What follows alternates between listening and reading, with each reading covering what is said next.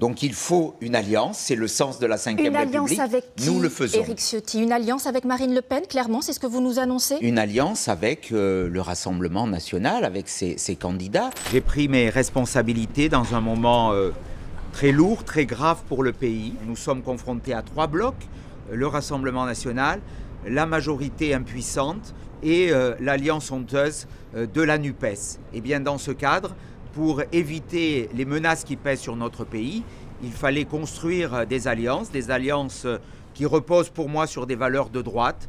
Voilà, je ne me déjuge pas, je suis de droite, je reste de droite, je suis républicain, je reste républicain, je suis président des républicains et je reste président des républicains.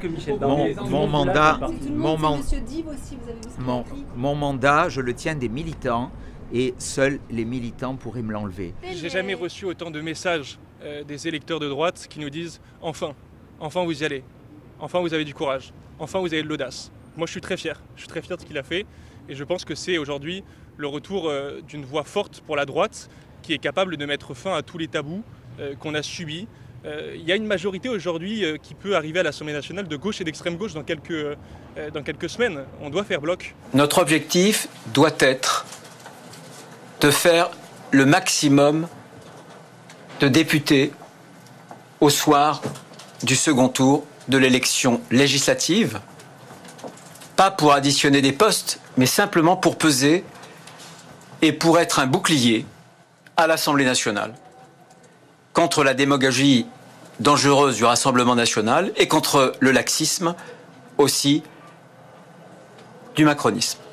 Les choses sont claires. Nous n'avons eu euh, aucune réunion et aucun dialogue avec Eric Ciotti depuis euh, l'élection européenne.